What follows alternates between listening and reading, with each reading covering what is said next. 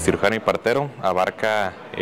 12 semestres básicamente. De estos semestres, 8 semestres son de áreas tanto este, de conocimiento aquí en la universidad, campos clínicos en los hospitales, un año que es el internado médico de pregrado, en el cual están todo un año en, en un hospital realizando sus prácticas y reafirmando los conocimientos que ya adquirieron previamente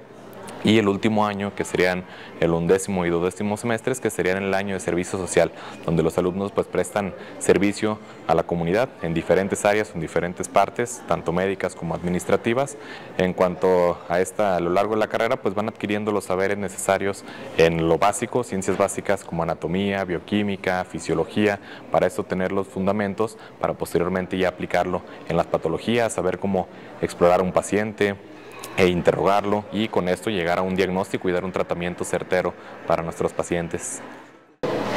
Pues al principio me sentía muy nerviosa al saber si iba a quedar o no en listas y ya en el momento que me dijeron que sí quedé, pues dije, ya pasó lo difícil, ahora viene lo más difícil, como quien dice, porque pues al estudiar medicina,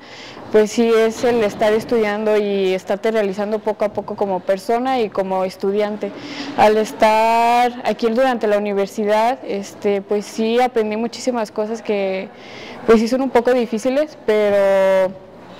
pues al fin y al cabo todo tiene un fin de ayudar a las personas, ayudarlas, salvarlas.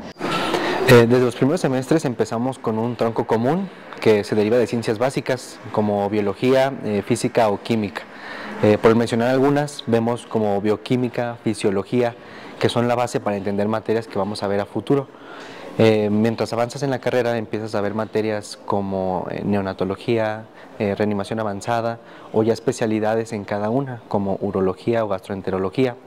En, mi caso las que más me han gustado han sido las del área quirúrgica, como traumatología y ortopedia o las que se derivan de cirugía, ya que estar en quirófano o el tan solo practicar con las manos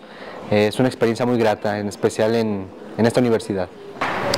Creo que las materias que más me han gustado son las prácticas, cuando comenzamos a ir al hospital, este, y más que nada las que son quirúrgicas. Me gusta mucho entrar a quirófano, entonces esas son mis favoritas. Y las que más trabajo me han costado,